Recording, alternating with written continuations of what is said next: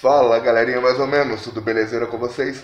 Mais um vídeo pro canal, não tem esse canal. Mais um vídeo com aquela velha história. Se não faz sentido, discorde comigo, não tem nada demais. Apenas a minha opinião de bosta.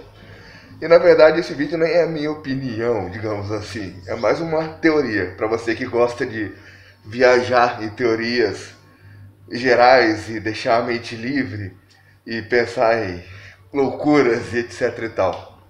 E principalmente viagem no tempo. Para quem curte essas teorias sobre viagem no tempo, é, esse vídeo é sobre isso. E o que eu quero dizer? Vou direto ao assunto, que é mais fácil. Imagine que o universo, na verdade, é a máquina do tempo. E por que, que eu estou dizendo isso? Imagina o seguinte: a 400 km de altura, da, a partir da superfície da Terra, é onde termina o que a gente chama de atmosfera da Terra, que é a altura pouco a mais ou menos, né? Que eu vou falar número arredondado, que é mais fácil, que é mais ou menos onde a Estação Espacial Internacional está. Ou seja, não é que não existe mais oxigênio, é que é impossível respirar oxigênio lá porque a quantidade, o percentual de oxigênio é muito baixo. Já é o espaço, já é o universo, como a gente chama.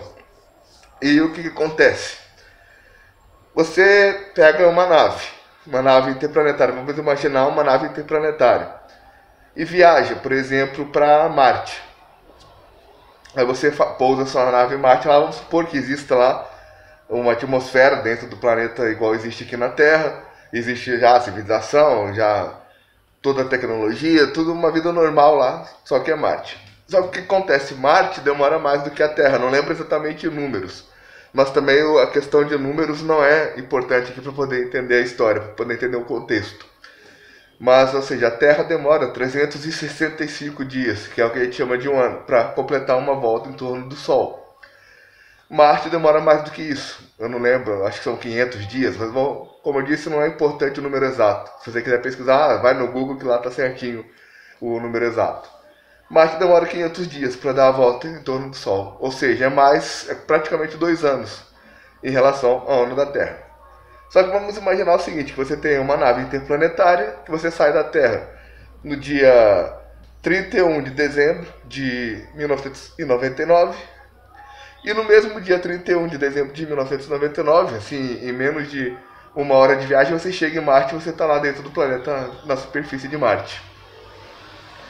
Aí, ou seja, você entra no ano 2000, lá em Marte, no mesmo momento que entra o ano 2000 aqui na Terra.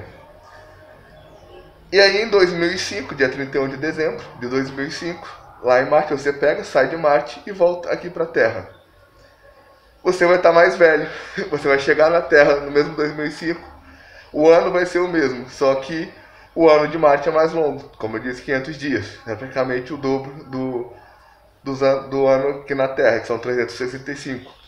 Então você vai estar tá aí 20 anos mais velho, porque para você vai ter passado, né, de 2000 a 2005 dentro de Marte, 500 dias cada ano. Então, ó, praticamente o dobro. Não sei fazer muito bem as contas de matemática. Agora, uma outra situação, você pega essa mesma nave, aí sai aqui do planeta Terra e vai para um outro planeta, num outro sistema solar, numa outra galáxia. Ah, mesmo que seja a galáxia vizinha aqui da Terra. Aí você chega nesse outro planeta, nesse outro sistema solar. Esse outro planeta é também o segundo, o terceiro planeta. E é, em ordem de distância da, da estrela, do Sol de, dessa, desse sistema solar. E ele completa uma volta em torno do sistema solar em 50 dias. E para você, lá dentro, na superfície desse planeta, acontece a mesma coisa que acontece aqui na Terra. Que é das 5 horas da manhã até as 6 horas da tarde, arredondando você tem a luz do sol, você tem o período que chama de dia, e das 6 horas da, da tarde até as 5 horas da manhã, você tem o período que a gente chama de noite, que tem a lua, tem o céu estrelado e tal. E aí você, mesmo esquema, sai aqui da Terra, dia 31 de dezembro de 2000, aliás, de 99 para 2000, chega lá, nesse outro planeta, praticamente na mesma hora, teletransporte, digamos assim, e fica dentro da atmosfera lá de 2000 até dia 31 de dezembro de 2005. E aí no dia 31 de dezembro de 2005, você pega e volta aqui para a Terra. E chega exatamente 31 de dezembro de 2005. O que, que acontece lá no outro planeta, que leva só 50 dias para dar a volta em torno da estrela, em torno do Sol dele, passou para você 5 anos, de 2000 a 2005. A mesma coisa aqui na Terra. O, enquanto você não estava aqui, enquanto você estava lá, aqui a Terra continuou girando, continuou passando tempo entre 2000 e 2005. Só que quando você chega aqui em 2005, o que, que acontece? Para todo mundo que morava, que ficou habitando a Terra aqui de 2000 a 2005, passaram 5 anos. Para você, passaram menos de um mês. Porque cada ano lá, 50 dias. Então 50, 100, 150, 200, 250. Passaram 250 dias, menos de um ano. Aliás, menos de um ano. Passaram 25 dias, na verdade. Ou seja, você só envelheceu 25 dias entre 2000 e 2005. Ou seja, você viajou no tempo. e aí você fala assim, ah, mas não existe nenhuma nave, nenhuma tecnologia que o ser humano tenha construído que consiga viajar até a velocidade, na velocidade da luz. Só que aí está a questão. Vamos, vamos, supor que o ser humano mais rápido, Paul Zambolt, eu não lembro exatamente o número também, mas também, como eu disse, não tem importância no contexto aqui do vídeo. Zambolt corre aí a 30 km por hora. Ou seja, a velocidade máxima que o ser humano desenvolve a pé é 30 km por hora. De bicicleta, é um pouco ao dobro, 60 km por hora de moto, de carro, o carro de Fórmula Indy, se tiver a reta, se tiver o lugar apropriado, ele consegue atingir mais de 400 km por hora, mas vamos arredondar para 400. Moto também, nessa faixa. Os jatos conseguem atingir aí velocidade de mais de 2.000 km por hora. A velocidade do som, a primeira barreira que existe, é 1.700 km por hora. E essa barreira do som de 1.700 km por hora nossa tecnologia, nossa ciência já quebrou ela faz tempo. Foi lá nos anos 50, nos 60, por ali, que quebraram essa barreira de jatos voando a 1.700 km por hora. Aliás, anos 70, se eu não tiver enganado, entre 60 e 70 por ali. Ou seja, já tem muito tempo.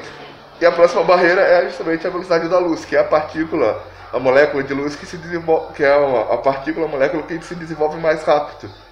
Ah, desenvolve mais rápido não, é que tem uma velocidade de deslocamento mais rápida pelo universo, pelo espaço, etc. Só que essa partícula, essa molécula, ela é limitada nessa velocidade. Se eu não me engano, é mil a um milhão, aliás, um milhão e setecentos poucos quilômetros por hora, uma parada assim. Eu não sei também o número exato, mas também o número exato não faz a. não é o contexto exato aqui do vídeo. Mas é para vocês entenderem que tipo, a velocidade da luz não é que é uma barreira, não é que é um limite. É que por enquanto a nossa tecnologia não conseguiu desenvolver nada que se, que se desloque mais rápido do que essas moléculas de luz, essas partículas de luz. E essa velocidade é constante, elas atingem essa velocidade e se mantêm nessa velocidade infinitamente, sem parar, sem frear, sem diminuir, sem aumentar essa velocidade. Só que elas têm que sair de um lugar. E do lugar que elas saem, elas saem na velocidade zero e vão crescendo. Só que elas vão desenvolvendo muito rápido, do zero até chegar nessa, um milhão e pouquinho aí, que eu não lembro exatamente o número. Então, assim, quando a tecnologia humana conseguir desenvolver isso, uma nave maior, o universo pode ser uma viagem no tempo. E, e talvez o, os buracos de minhoca sejam túneis que ligam um universo ao outro, falando de multidimensões. E aí já é outra história, já é outro contexto, o vídeo vai ficar muito longo se for entrar nesse assunto. Então tá aí o vídeo sobre essa questão de viagem no tempo, essa, esse delírio e tal. Mas se você for estudar, se você for analisar a astronomia, essas outras coisas e tal, você vai ver que tem até o sentido nessa loucura toda. Então tá aí o vídeo, paz para todas, fui.